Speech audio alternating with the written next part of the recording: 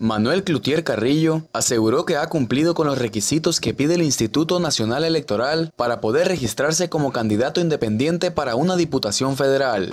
Amigos, colaboradores que nos han apoyado en este proceso de recabado de firmas y que hoy nos acompañan y que son precisamente quienes con su trabajo nos han permitido lograr los objetivos que hoy vamos a comunicar.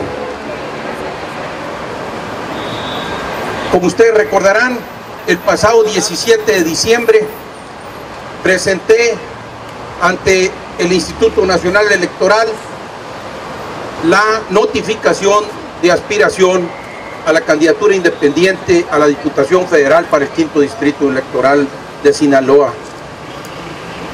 Fue después de cumplir los requisitos que exigía la convocatoria que fuese publicada el 19 de noviembre, el pasado 29 de diciembre, el INE me otorgó constancia de aspirante.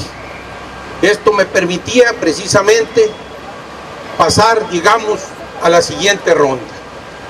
El siguiente proceso es el que estamos concluyendo o estaremos concluyendo el día de mañana.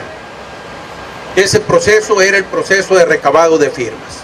Firmas de apoyo para poder ser candidato. En virtud de que la candidatura independiente es una candidatura sin partido, Demanda pues la ley y el mismo instituto que debe venir respaldada con al menos 6 mil firmas de apoyo ciudadano. El pasado 30 de diciembre iniciamos lo que fue precisamente el plazo que había establecido la ley, que era un plazo y la convocatoria del INE, un plazo de 60 días para recabar al menos 6 mil firmas.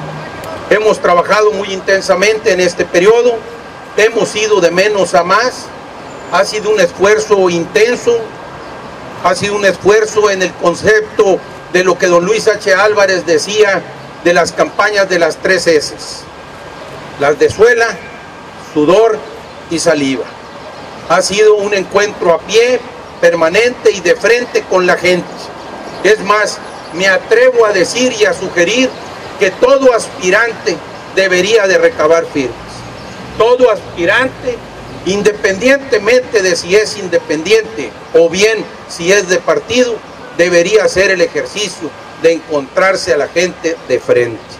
Finalmente mi padre me enseñó que a la gente hay que mirarla y verla de frente, ni para arriba ni para abajo.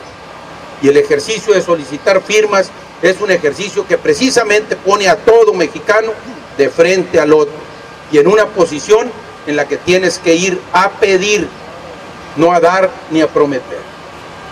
Vas precisamente ante la gente y le pides. Le pides que te tenga confianza, le pides su firma.